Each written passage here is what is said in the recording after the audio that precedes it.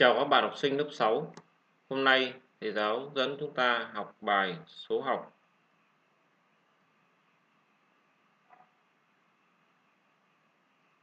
Số nguyên tố, hợp số, bảng số nguyên tố.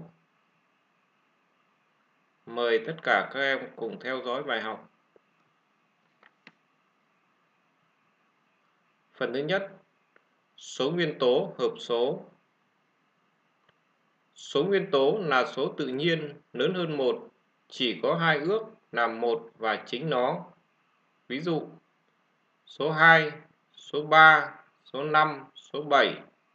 Đây là các số nguyên tố nhỏ hơn 10. Còn các số nguyên tố khác chúng ta sẽ tìm hiểu sau. Thầy giáo nhắc lại. Số nguyên tố là số tự nhiên lớn hơn một chỉ có hai ước là một và chính nó.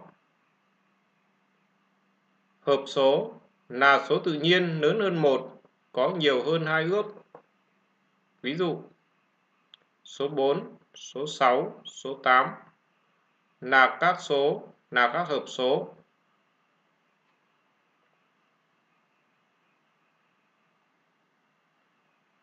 Thầy giáo nhắc lại, hợp số là số tự nhiên lớn hơn một có nhiều hơn hai ước. Ví dụ, số 4, số 6, số 8 là các hợp số.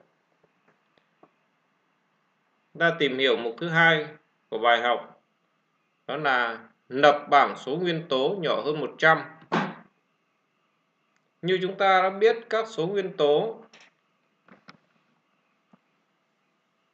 nhỏ hơn 100 chúng ta đã biết các số nguyên tố nhỏ hơn 10 là các số 2 số 3 số 5 và số 7 để lập được bảng số nguyên tố từ 100 số nhỏ hơn 100 chúng ta làm thế nào? Trước hết, chúng ta giữ lại số 2 loại bỏ tất cả các bội của số 2 Ví dụ số 4, số 6, số 8. Trong cái cột số 4 thì chúng ta xóa cả cái dòng số 4 có tận cùng bằng 4. Số có tận cùng bằng 0.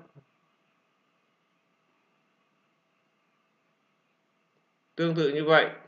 Ví dụ như là tận cùng bằng 6, tận cùng bằng 8, chúng ta đều xóa cả. Sau đó chúng ta giữ lại số 3 và loại tất cả các bội của 3 mà lớn hơn 3. Giữ lại số 5, loại các số là bội của 5 mà lớn hơn 5. Giữ lại số 7 và loại tất cả các bội của 7 lớn hơn 7. Chúng ta cùng theo dõi. Những số trong bảng này được đánh dấu đỏ là những số bị loại bỏ những số màu đen là các số nguyên tố được giữ lại. Sau đây, chúng ta sẽ bỏ tất cả các số nhỏ hơn 100 mà đã đánh dấu bằng chữ đỏ. Chúng ta cùng quan sát. Thì những số còn lại trong bảng, đây là các số nguyên tố nhỏ hơn 100, gồm các số nguyên tố 2, số 3, số 5, số 7, số 11, số 13, số 17, số 19, số 23, số 29, số 31, số 37, số 41, số 43, số 47, số 53, số 59, số 61, số 67, số 71, số 73, số 79, số 83, số 89 và số 97. Như vậy, các em cần ghi nhớ các số nguyên tố nhỏ hơn 100 để áp dụng vào rất nhiều các bài toán về sau.